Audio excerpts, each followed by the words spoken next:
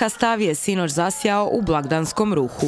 Paljenjem lampica u adventskom parku na Fortici počeo je advent s najljepšim pogledom.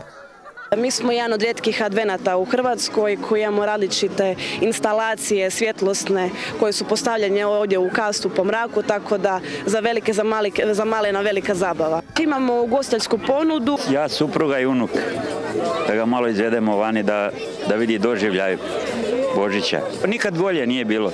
Ove godine je najbolje. Sa jednom malom prijateljicom. Prekrasno je. Stvarno su se potrudili. I dok su brojni posjetitelji uživali na Fortici uz prigodnu ugostiteljsku ponudu i glazbeni program, na Crekvini je otvoren ured Djeda Mraza. Mali kastavci družili su se s bakom Mraz.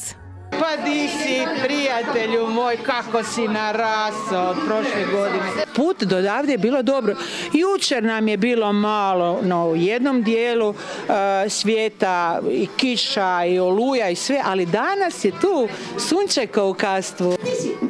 Ajde, ko tu meni tapa, tapa, tapa, tapa, joj, kako sam krasna, vidi moju ljepoticu.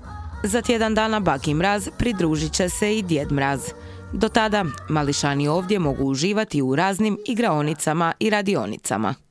Uglavnom pričam djecom o ljubavi, o tome koliko trebaju biti zahvalni.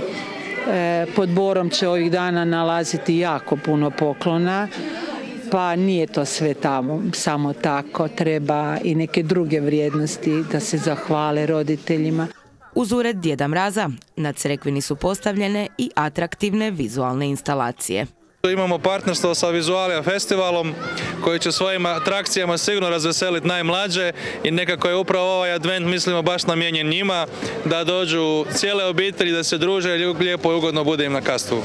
Do kraja godine u Kastvu će nastupiti brojni poznati glazbenici. Dvije večeri Fortica će biti i veliki disko na otvorenom.